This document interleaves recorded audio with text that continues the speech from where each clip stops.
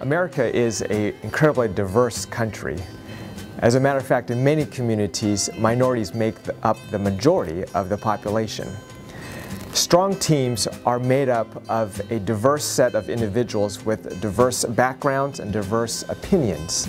This diversity of thought creates better decisions and allows a company to better serve a diverse community.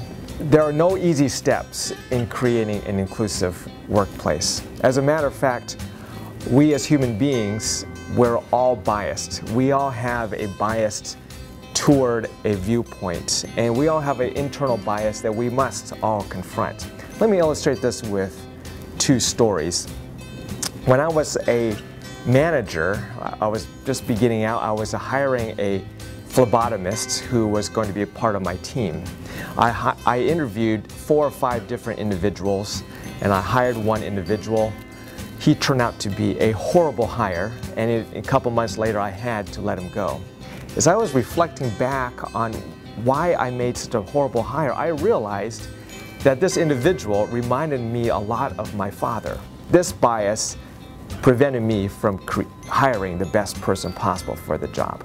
The second story that I have to share is, uh, was recounted by a magazine article from Fortune magazine of, and it was a story about Bernard Tyson, the CEO of Kaiser Permanente, who is African American.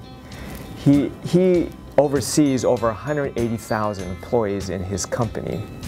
And he recounts a story in the article in the Fortune magazine about a time in 1992 when he was asked to lead a hospital in Santa Rosa, California. It was the IT hospital. He was very excited to be, to be leading the hospital.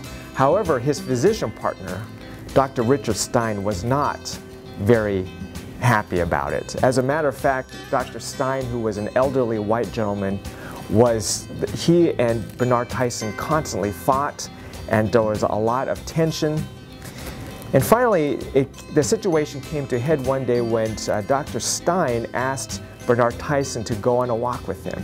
And it made the realization for Bernard Tyson realize that many Americans do not have the framework on how to deal and work with people of a different background.